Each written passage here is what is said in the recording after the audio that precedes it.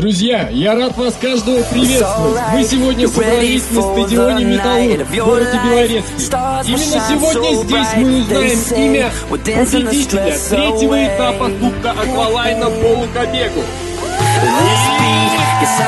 Николай Ростения! Right now, together we will meet this place.